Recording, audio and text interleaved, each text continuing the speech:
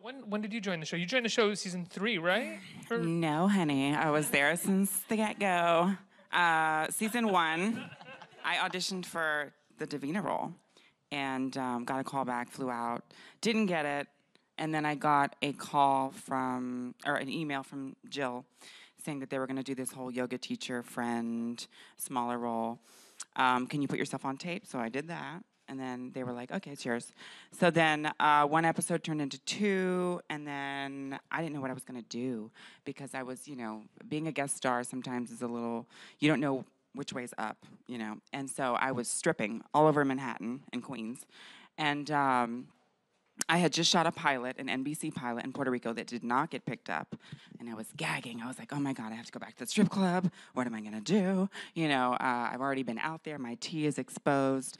And then I got a call for season two, and they put me in half the episodes. So that really like allowed me to literally clean out my locker and start acting full time. Because I had been kind of navigating the acting world prior to that stealth, and this was like my coming out party. My first two jobs, I didn't disclose that I was trans, and that's how I kind of dealt with the industry because that's how I was taught to be by my first acting teacher and everyone I had, you know, kind of looked up to. Um, How did they? How do? What do you mean taught you to be? Like taught you? to- well, when you pass, you kind of get access to more things. And back in the day, 10 years ago or more, there were not very many trans roles. So I was told if you want to work, just don't tell anybody. You know, if you want to have a job, if you want to have a future in this industry, just don't talk about it. You can go out for regular cis female roles. No one has to know. Um, my agent knew, and that was it. So, um, transparent was like my leap, leap of faith.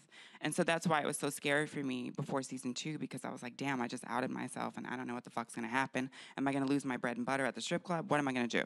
So um, that's how it came to be. And I guess, you know, I got, I, I was rewarded for just stepping into my truth. It's like, it's like the world, the universe was just waiting for me to kind of step into it.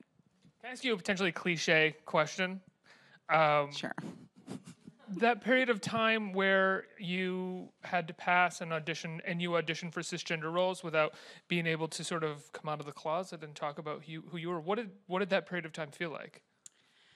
Well, I was so programmed to just kind of snap into character. Like literally, when I would go into the audition room to audition for a cis role, I would just, you know, there's a, certain way of being at, that I would I would embody. Same thing with the strip club. There's certain slang I wouldn't use. It was literally like living in character part time.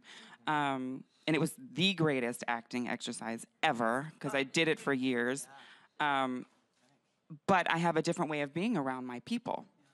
And I think we all do that kind of coding around different groups of people. We have this like chameleon like ability to kind of to compartmentalize and get through life. Um, and so that's what I did. But uh, I remember being on Law and Order um, for my, one of my first guest spots and just feeling uneasy. And also, it was it was around the time that Orange Is New Black hit, and Laverne, who'd been a friend of mine for like ten years, was you know it, it was blowing up, and I was just kind of feeling like like no, that is that is what I want. I want to be fully transparent, no pun intended, um, about what I am and what I've been through in my journey because there's merit in what I've been through, and I don't want to hide my journey or, or, or my struggle or my brilliance, you know. So after that, I learned to kind of um, harness it. I went to an LGBT acting class with Laverne and um, found access, uh, I, I gained access to all these different parts of myself that I didn't even know I could use in my acting work, which I say today is like a secret weapon for trans actors, which is why I think we can go on and play non trans roles and be brilliant at it because we have such a rich experience that can be put up and through the text and aid us in character work, whether the, whether the character is trans or not.